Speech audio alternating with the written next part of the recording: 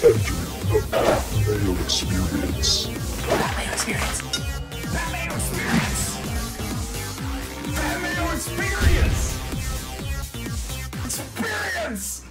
Welcome to the Pat Mayo Experience presented by DraftKings. 2020 Week 6 starts, sits for DFS, DraftKings, season long, and betting matchups primarily from the Green Bay at Tampa Bay game. What I've done today is go to FTNDaily.com and I've taken the article that Kevin Adams writes every single week at Magic Sports Guy on Twitter, by the way. It's the most comprehensive matchup column there is on the internet. It's one of the best overall columns in terms of information and just the way that it's written. It's a very good read on any topic on the internet. So that covers the entire range of politics and entertainment and comedy. This is sports related, but it's so good that I wanted to present it to my viewers and my listeners as well, just to give you a taste of what's going on. He has made the Tampa Bay and Green Bay game free up on FTNDaily.com right now. So you can go check that out. You can find the link in the description of this video and podcast. I will be reading it in full just so you can get a sense of it. Because, I mean, who likes reading? Some people just, you're out walking the dog, you want to listen to something.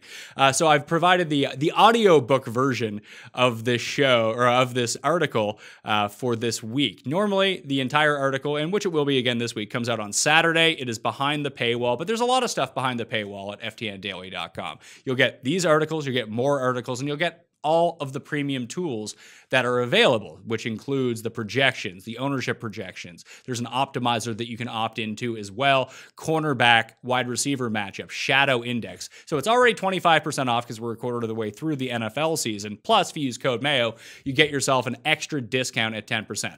One of the things that I would like you guys to do for this episode is please smash the like button. Tell me who your favorite core play is on your DraftKings lineups this week from the Tampa Bay Green Bay game. And please share the show around. This is a really important one for me because I do want to highlight the great work that Kevin is doing. So the more shares that we can get, whether it be on Twitter or Facebook or Instagram or posting it to Reddit, wherever it might be, please help us out just a little bit on this front. That would be very much greatly appreciated. And if you're not in the business of paying for tools, and I know that some people aren't, up on FTNDaily.com, there are two sets of tools. There's the free tools and there are the premium tools. I really like both, to tell you the truth. I use them exclusively right now because one of the big things for me joining the FTN network team was a lot like what I did with Fantasy National in terms of golf. I hated having 21 tabs open at the top of my screen when I was trying to do research. Well, I need to find this information on this site, and this information on this site, and this information on this site, and then trying to navigate back and forth. is a fucking pain in the ass, is what it was. One of the big reasons that I joined FTN, working with Jeff Ratcliffe and Kevin and Elliot and Brad on all of these tools, was to really compact everything into one site. All you actually have to do is go to FTNDaily.com, even if it's just the free tools that you want to use. Everything is in there, free to use, all in the same spot. You want air yards? That's free. You want the start sit? That's free. Everything that you could possibly and want to use free up on the site. Then you get these premium tools and articles and cheat sheets and strategy along with it to help make you money. But I suggest everyone go check that out now.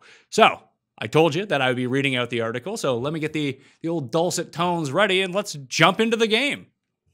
Green Bay at Tampa Bay, 4:25 p.m. Eastern Time. The Packers are a point and a half favorite on the road. The game total is 54. Green Bay's implied team total for this game is 27.5, Tampa Bay 26.5. Pace and play calling. Bettors are liking this game to be fantasy friendly, betting it from 52 to 54 with both the public and percentage of the money backing the over. Tampa Bay and Green Bay are combined 6 and 3 to the over so far this season. There's also been heavy line movement for the Pack, as their 38 points per game, which is best in football, has them as a very public team, with them turning into road favorites after opening as three point underdogs on the road. Green Bay is not only undefeated on the field, but they are also 4 0 against the spread. Green Bay is dominating their opponents, averaging 14.61 net yards per drive, 40% higher than the second place team in Indianapolis. What makes that statistic more impressive is that the Packers haven't had Davante Adams for a big chunk of the season. But Adams will be back in the lineup Sunday, which makes this team very scary for Tampa Bay in the NFC. Tampa Bay plays below average in terms of neutral pace and the slowest in the second half of games, a result of being 4 0. Green Bay has the eighth lowest pass rate and has stayed run heavy on the 60 plus snaps they were trailing by three or more. They go down to a 48% pass rate when up by at least 7, which is why Aaron Rodgers is only averaging 34.8 pass attempts per game, which is 23rd amongst quarterbacks. The Buccaneers push their opponents into an elevated pass rate with their stout run defense, 2.5 running back yards per carry allowed, seeing teams pass on over 64% of plays, which is fourth in football after finishing first in 2019. Green Bay runs 65.2 plays per game, which is league average, but makes up for that by being the most efficient offense thus far. The Packers average the most yards per play, red zone attempts, and points per drive 3.97 or 0.71 better than Seattle. Green Bay averages 4.5 touchdowns per game, second to only the Seahawks. Tampa Bay, with their 28.3 points per game over the last three, has logical pace splits. 30.8 seconds when in the lead, which is 21st, and 23.4 seconds per play when trailing by 7 or more, which is the sixth fastest. They are passing at the sixth highest overall rate and second highest once they trail by a field goal, when they up it to a 74% rate. Even when in the lead, they pass at a healthy 57% rate, which is fourth in football. Unlike Green Bay, Tampa Bay needs the extra plays and pace, ranking 19th in points per drive and 25th in yards per drive, putting them down with the Giants and Bears in that regard. The Bruce Arians Byron Leftwich offense has had early game success, averaging 9.6 points per game in the first quarter, most after finishing third last season. Green Bay starts off a bit slower, 6 points per game in the first, but has put up 14 points per second quarter, which is the second most. If this trend continues, this game should fly over this high total. Taking a look at where the targets are being distributed, both of these teams are top five in targets to running backs, with the Packers second at 31.6%. That should level off some now that Adams is coming back, but they were top seven in 2019, so they will still be a team that targets their backs often. Tom Brady has historically loved to throw to his running back, so we shouldn't be surprised to see Tampa Bay go from 19th last year with Jameis Winston to 6th in 2020 at 25.6%. Brady also loves tight ends. That's not breaking news, which has Tampa Bay 7th in tight end target share, up 17th from 2019. That means that the wide receivers have been getting less usage. With the constant injuries to both Mike Evans and Chris Godwin, Tampa Bay is actually 30th in wide receiver target rate at 46.6%. The Packers. Efficiency outweighs volume when you are really good, and that's what Aaron Rodgers has been so far this season. He is first in fantasy points per dropback at 0.7, which has him as fantasy's QB6 for the season. Other positive metrics pointing up for the veteran 6.8 deep balls per attempt, that's second in football, the third best production rate, sixth in red zone passing attempts, 7.5, and first in adjusted yards per attempt, 10.4. Daily Fantasy rewards those who act quickly, and those who keep focusing on his less than great 2018 and 2019 campaigns are missing out on a Hall of Famer ballin' out. Rodgers is almost 37, which is not old for QBs and their ceilings. We've seen Brady, Drew Brees, and Peyton Manning in the very recent past have massive fantasy years at 37 years old or older. Manning was 37 for his 55 touchdown season in Denver. A big reason for the success in Green Bay is the offensive line. They have the lowest pressure rate allowed. They have allowed Rodgers time to survey and pick apart defenses 77% completion rate when clean, 33% when under pressure. Like most games, pass rush will be a huge factor, as Tampa ranks fifth in pressure rate on the third highest blitz percentage.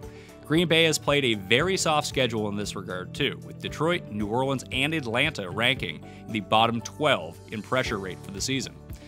Rodgers' expected points added are plus 9.8 due to the big yards after catch numbers the Packers have racked up 4.42 yards after catch, which is fourth so far this season. But he is minus 1.4 in terms of passing touchdowns, despite tossing 13 without an interception. That tells us there is nothing alarming to signal negative regression, especially with Davante Adams back and a nice upcoming schedule with Jacksonville, Minnesota, Houston coming up after this Tampa game. The Buccaneers have allowed the fourth fewest fantasy points to quarterbacks, but they have faced Nick Foles, Kirk Cousins, Matthew Stafford, and Matt Ryan. That was a formidable list once upon a time, but this year, that's just four quarterbacks ranking in the bottom 12. Like most quarterbacks, Rodgers excels in large total games, averaging over 25 fantasy points in his last 12. That's 4 fantasy points per game more than his overall average. So, there is only his price being a deterrent. He has moved from 6.2k to just 7.5k in just 2 weeks, putting him up in the quote, QBs that can run the ball tier with Lamar Jackson and Deshaun Watson. Rodgers isn't running anymore, ranking 39th in QB carries, so we can't use him in cash games, but he is a strong GPP play. Aaron Jones continues to be a beast, especially with Adams out of the lineup. Using our NFL splits tool at FTNDaily.com, you can see Jones becomes Christian McCaffrey with the star receiver out, catching two more passes, dominating the red zone work, which has led to four touchdowns in six games, averaging 27.1 fantasy points per game on DraftKings. That said, Jones's numbers with Adams are still great as are his splits when getting 14 plus carries regardless of Adams. In those games, Jones is averaging over 26 DraftKings points per game, which jumps to 29 over his last 10 games with 14 plus carries. The Packers' offensive line is also dominating in the run, ranking fourth in adjusted line yards. They are also third in second level and fifth in open field rank, the only team in the top five in all three categories. Jason Pierre-Paul was quoted this week as saying, quote, "No one runs on this Tampa D." End quote.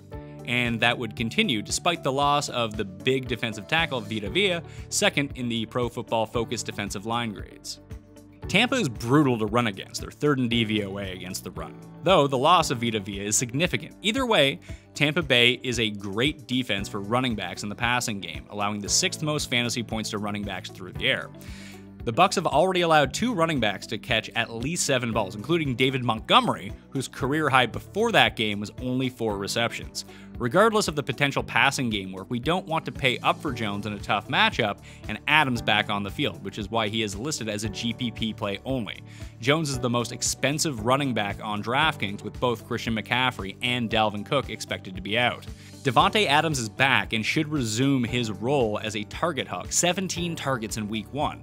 He could even get a bump in usage, if that's possible, with wide receiver 2 Allen Lazard out again, as he was experiencing a 17% target share. Carlton Davis did a great job on Michael Thomas week one, holding him to a stat line of three catches for 17 yards, and is a good cornerback, one of the best right now. That said, he allowed 9 for 109 to Robbie Anderson in week 2 and 10 for 90 to Allen Robinson last week. Regardless of whether Davis plays, he's dealing with an abdominal issue right now, Adams will be heavily targeted. When you can see 15 targets or more, even a bad 50% catch rate gets you up to 7 or 8 receptions, so I'm not going to worry about him in GPPs. Davis has not been traveling to the slot much, only 4.5%, so Adams can move inside, where he has an 18% slot rate from last year, to pick on Sean Murphy Bunting. At high prices, coming off an injury, he won't make it into the Sunday cash game core unless Davis is ruled out. But I will have him at least one of my three max lineups. Robert Tonyan has been an obsession of mine, so it was awesome to watch him break the showdown slate with three touchdowns on six receptions, 98 yards on six targets. Like I said last year, and then again in week one, these no name players that ball out in college Tonyan had 150 passes in three seasons and nearly 14 yards per reception and 20 touchdowns. Can pop given the opportunity, especially when the opportunity comes on an Aaron Rodgers heater. Bob Tonyan just sounds like a big blocking tight end, but he's a converted wide receiver who is perfect for today's game, an athletic or quote move tight end that lines up in the slot nearly as much as a traditional tight end, 40 0.2% of snaps from the slot. With Adams back and his price highly elevated, he will be a very contrarian play despite two consecutive top four tight end finishes. He's currently projected at 5% or less on our FTN ownership projections model.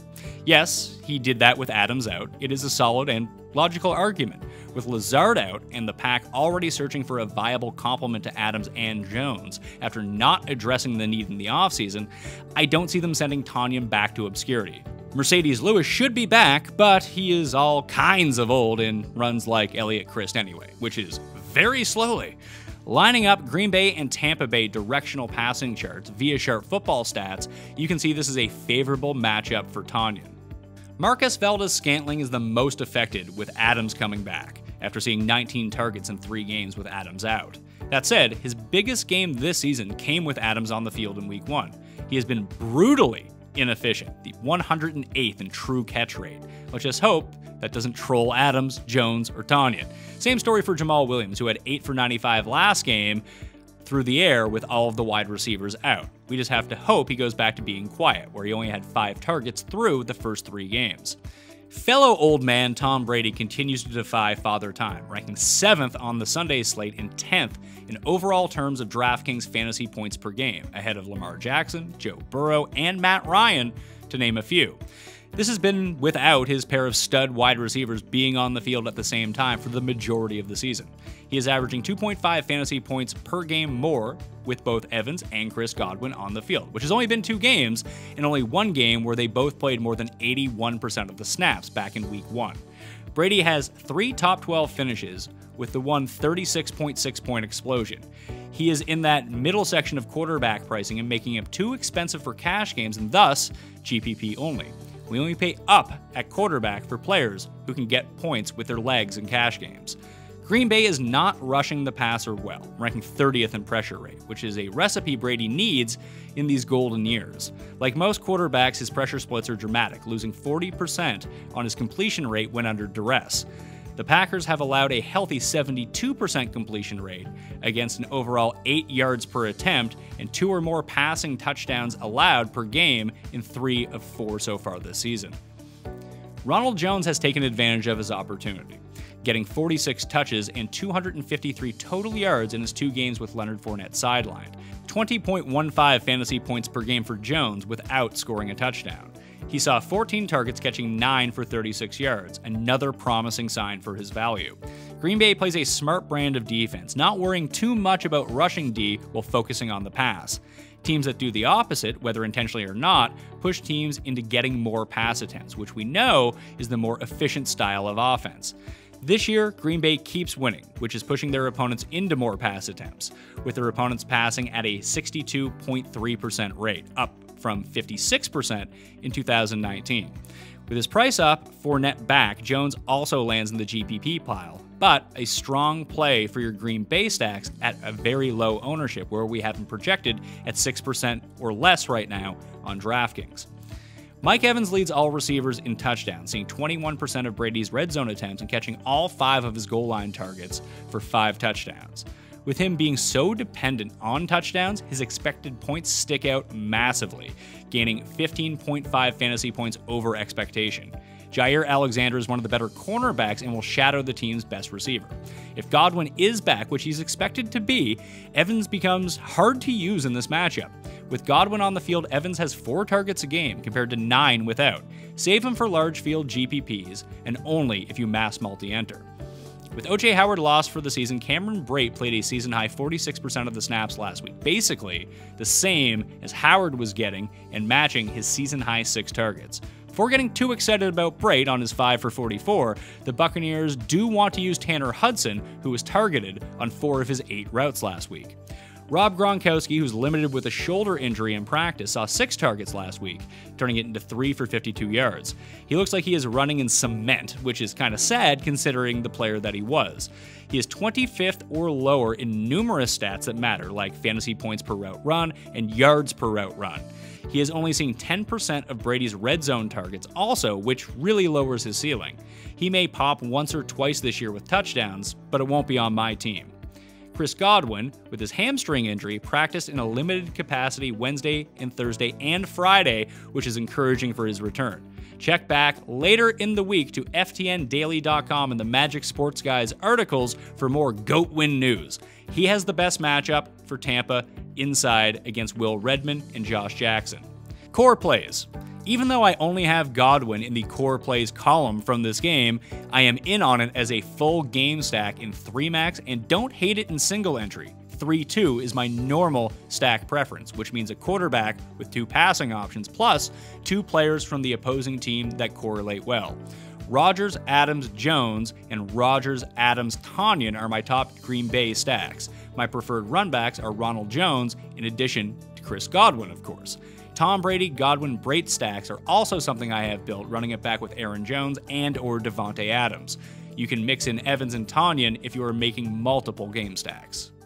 that was everything you probably ever needed to know about Green Bay and Tampa Bay. Again, you can check out the entire column if you want to go back to it. It's free up on ftndaily.com. The link is in the description of this video. Please like the episode, please review the episode, and please, if there's anything you do, share around this episode. Would mean a lot to me if you could go and do that right now. Code Mayo will get you a discount on top of the already baked in discount at ftndaily.com. I highly suggest the tools that are up there, whether it's the free ones or the premium ones. Hey, if you get the premium and you pay for the paywall, you get the article, you get the cheat sheets, and you get all the free tools as well. It's one stop shopping if you're into doing your own research and not just listening to other people. The tools can really help you cut down on the amount of research. It increases your efficiency, and there might be stuff up there that you don't even know about, um, that you didn't even think about researching before. It's all up there and so intuitive and easy to use. So that was Kevin Adams' article. You can check out his full column with a breakdown of every game, just like the one that I read out. That's a lot of information, right? On Saturday morning on FTNDaily.com Um, if you are behind that paywall. All right, I'm Pat Mayo. Thank you all for watching. I'll see you next time. Experience! Experience!